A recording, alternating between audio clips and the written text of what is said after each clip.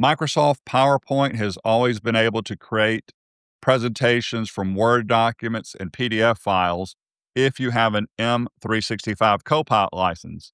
Well, guess what? Now you can use Microsoft Excel files to create PowerPoint presentations. This is a phenomenal feature. Just to explain how this works, I have a Excel file that I downloaded from Microsoft's website. It is public information. I have multiple worksheets, including a balance sheets worksheet, cash flows. I've got income statements. So we have a lot of different tabs down here in this Excel file.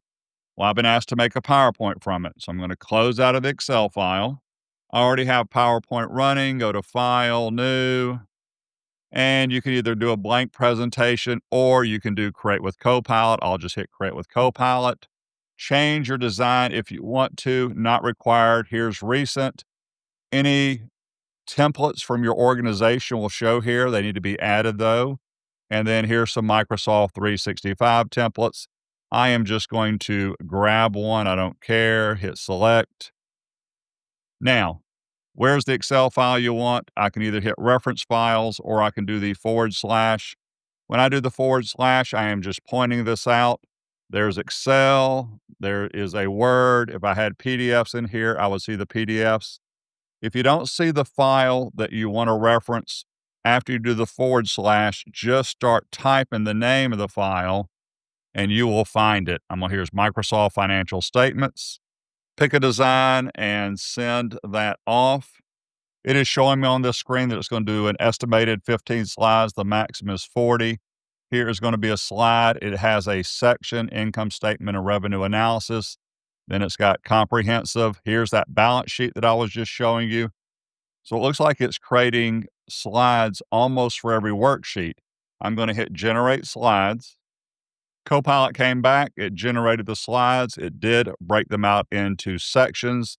As an example, in the top left, I'm collapsing and expanding a section here. Also, by default, it will put you in slide sorter view. Absolutely nothing wrong with this. It is a great way to organize your slides. There's a slide you don't want, just click on it, press the delete key.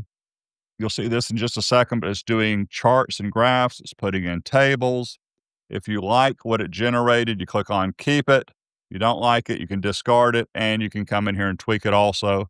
I will do a keep it. Go back to normal view just to show you what this looks like. And over in normal view, income statement and revenue analysis, I do want to point out it does give you notes down at the bottom of each slide. That was a title slide, so not much there. Here we go look at all the information it gave me right here.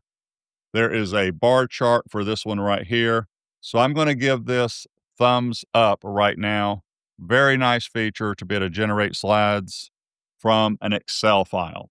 I appreciate your time. My online training is available for Copilot, Teams, Excel, and OneNote. If you have any comments, put them in the comments box. Have a wonderful day. Thank you.